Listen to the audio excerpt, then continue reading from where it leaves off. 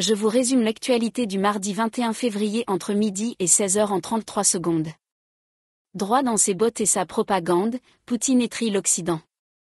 Dans un discours à la nation au vitriol, le maître du Kremlin s'est dépeint en rempart contre un Occident décadent, déterminé selon lui à en finir avec la Russie. Kate Middleton éblouissante sur le tapis rouge des BAFTA Awards. La princesse de Galles a fait un passage remarque sur le tapis rouge du Royal Albert lors de la cérémonie des BAFTA 2023, dimanche. Enlèvement d'un homme dans le Val d'Oise contre une rançon de 100 000 euros, cette personne mise en examen. Pour ne rien manquer de l'actualité quotidienne, abonnez-vous à ma chaîne.